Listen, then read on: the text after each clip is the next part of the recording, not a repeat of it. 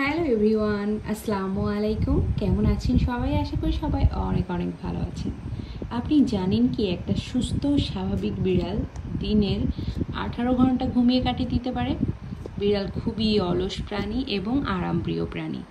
বিড়াল যদি সুস্থ, স্বাভাবিক থাকেও আঠারো ঘণ্টা পর্যন্ত ওরা ঘুমিয়ে কাটাতে পারে। দিন রাত মিলিয়ে।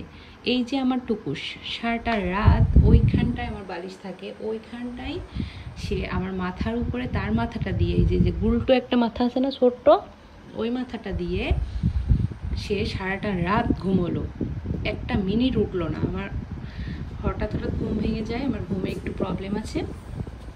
তো আমি হচ্ছে ঘুম ভেঙেই দেখব যে সে আমার মাথার উপর গুলটু মাথাটা দিয়ে ঘুমোই আমি একটু সরিয়ে দিলে সে তার এই গুলটু গুলটু গুলটু মাথাটা আবার আমার হচ্ছে মাথার উপর দিয়ে ঘুমোয়, কারণ সে স্পর্শ চায়। এভাবে সে সারা রাত ঘুমিয়েছে এবং সকালে ঘুম থেকে উঠে তাকে চিকেন দিয়েছি, সে চিকেন খাবে না। সে শুটকি দিয়ে ভাত খেয়েছে। তারপর আমি রুটি খাচ্ছি, আমার কাছে এসে অসহায় ফকিরের মতো বসে আছে। ও নানু, একটু রুটি দিবা, আমি একটু লুতি খাব। লাল আটার রুটি খেয়েছি আমি। ও লাল আটার রুটি দেখলে ও আবার খেতে চায়। তো আমি ওকে সামান্য সামান্য করে দিয়েছি কারণ রুটিতে যেহেতু লবণ থাকে, তো ওভাবে দেওয়া যায় না। তো আমি ওকে সামান্য করে ছোট ছোট করে ছিঁড়ে দিয়েছি। সে সেই রুটিটা খেয়েছে। খেয়ে এই যে ঘুমোচ্ছে, এক ঘণ্টা আবার হয়ে গেছে। এবং ওঠার কোনো নাম নাই। আমি বিছানায় এখন একটু দেখছিলাম চ্যানেলটা, সবার কমেন্ট টমেন্ট একটু পড়ছিলাম। তো ও হচ্ছে ঘুমিয়ে আছে। তো একটু পরে আমি আবার রান্নাবান্না, অন্যান্য কাজে যখন বিজি হয়ে যাব, তখন সে উঠবে আমার সাথে। কারণ সে হচ্ছে নানুর সঙ্গপ্রিয় এবং আরও অনেক দিন পর নানুকে পেয়েছে সে, পনেরো দিন পর। তো এখন সে নানুকে কোনো সময় ছাড়ে না।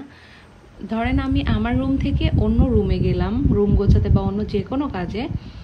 আর আমি আগে আগে দেখব ও ঘুমিয়ে আছে, এরকম গভীর ঘুম বাট যাব, দেখব যে আমার পিছনে অটুকুস ও হচ্ছে এরকম একটা প্রাণী।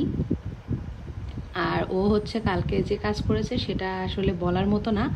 তারপরেও আপনাদেরকে আমি বলছি, কারণ ওর সাইজ দেখছেন? এই যে লম্বা একটা সাইজ কিন্তু ঠিক মতো খাবার খাবে না, দুষ্টু। সেজন্য সে এখনও মোটা হয় নাই, সে চিকন। যথেষ্ট চিকন আছে।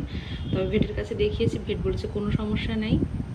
ও হচ্ছে যথেষ্ট লম্বা হেলদি আছে অ্যাক্টিভ আছে, প্রচণ্ড খেলাধুলা করে, কোনো সমস্যা নাই, মোটা হওয়াটাই মূল ফ্যাক্টর না। তো যাই হোক, আসল কথা বলি। ওর এই লম্বা সাইজের থেকেও অনেক বড় সাইজের একটা গুই সাপ তার সাথে নাকি কালকে মারামারি করছে। গুলটুর কি করা উচিত? এই গুলটু ওই ওই গুলটু ওই বল সবাইকে বল, তাকে বল। বলতে পারছি না নানুমণি। ঘুমোচ্ছি, ঘুমোনো মানুষ ডেকে মানে ঘুমোনো বিড়াল ডেকে সবাইকে বলতে বলছে। গুই সাপের কথা আর কাকে কাকে বলবা? নানা ভাই আসার সাথে সাথে বলে দিয়েছ, তুমি ফোন দিয়ে তোমার বাবার কাছে বললা, তোমার মার কাছে বললা, তোমার আপুর কাছে বললা, এখন আবার বন্ধুদের কাছে বলে দিচ্ছ। যত সাপ। ওই সাপটা আমাকে আসতে দিচ্ছিল না। বলল যে আই একটু খেলা করি। তাই একটু খেলা করেছিলাম। এই আর কি। বুঝছ বন্ধুলা আমার কোনো দোষ নাই। আমি গুই সাপের সাথে খেলা করতে চাই নাই। নানুটা সব বানিয়ে বানিয়ে মিথ্যা কথা বলছে তোমাদেরকে। বুঝছ বন্ধুলা আমি কেউ কত ইনোসেন্ট আমার ঘরে ঘুমিয়ে থাকি। আমি কোন সময় গুই সাপের সাথে মালামালি করি? তোমলাই বলো। আমি কোনো সময় গুই সাপের সাথে মালামালি করি? আমি যেরকম ভালো করে ঘুমিয়ে আছি ঘরে। খালি নানু রান্না করতে গেলে নানুর সাথে যে আমি চালের ড্রামে বসে থাকি।